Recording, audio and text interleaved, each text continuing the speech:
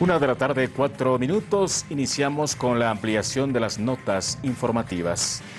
El candidato a la presidencia por el movimiento al socialismo, el exministro de Economía Luis Arce Catacora, ha iniciado, ha señalado que eh, prácticamente en el país falta garantías para una campaña electoral. El exministro de Economía Luis Arce ha denunciado en Buenos Aires la falta de garantías para hacer campaña con vistas a las elecciones del 3 de mayo. Ahora mismo sufrimos persecución y hostigamiento.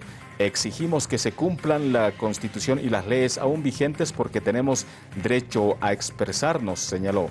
Asimismo, Luis Arce restó importancia al rechazo de su candidatura por algunas organizaciones. Ha considerado que las clases medias no estaban desencantadas tras los tres mandatos de Evo Morales.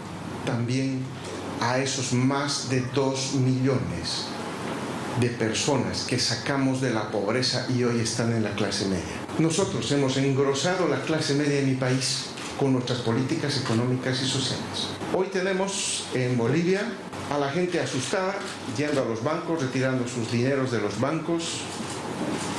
Se ha generado expectativas negativas, hay incertidumbre en la población sobre qué es lo que se viene, porque el gobierno de la señora Áñez no está manejando adecuadamente la economía.